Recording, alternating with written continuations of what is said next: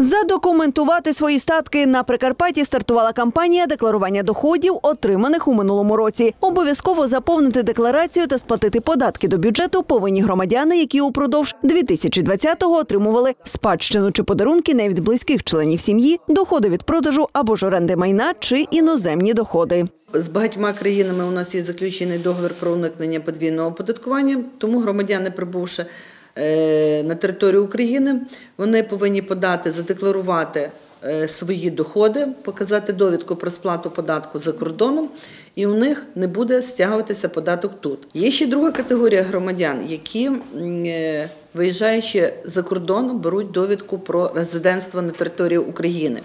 Ця довідка дає їм можливість за кордоном, навіть офіційно працюючи, не сплачувати податки. Тоді, приїхавши на Україну, вони повинні задекларувати ці доходи і сплатити податок.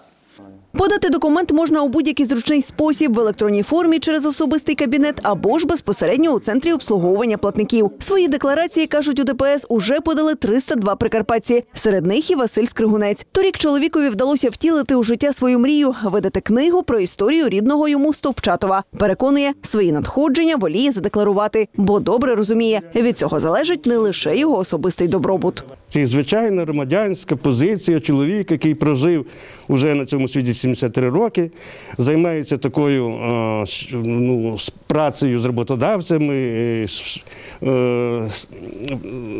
в області соціального діалогу. І я вважаю, що це кожен мав би це зробити. Я знаю, як тяжко бюджету для того, аби пенсіонери виплати пенсії. То навіть мій малесенька ця часточка, яка там буде, це хай буде так само мій внесок того, щоб пенсіонери, які все життя працювали, щоб мали якусь копійку. Задекларувати свої доходи повинні власники сільгосптехніки, які надають послуги зі збору урожаю та обробітку землі, і ті, хто самостійно обробляє власні паї площею понад 2 гектари та отримує прибуток від продажу продукції. А ще приватні нотаріуси, адвокати, аудитори та особи, які беруть участь в освітній або викладацькій діяльності, і фотографи, відеооператори та блогери, які не зареєстровані підприємцями. Якщо громадяни отримували відповідні доходи у 2020 році, вони їх мають зареєструвати, задекларувати до 1 травня, подати податкову декларацію за місцем своєї реєстрації. Зазначені доходи оподатковуються податком на доходи фізичних осіб в залежності від виду доходу за ставкою 5 або 18%, а також військовим збором за ставкою 1,5%. Е, Задекларовану суму, яку вони задекларують до 1 травня, їм необхідно сплатити до 1 серпня.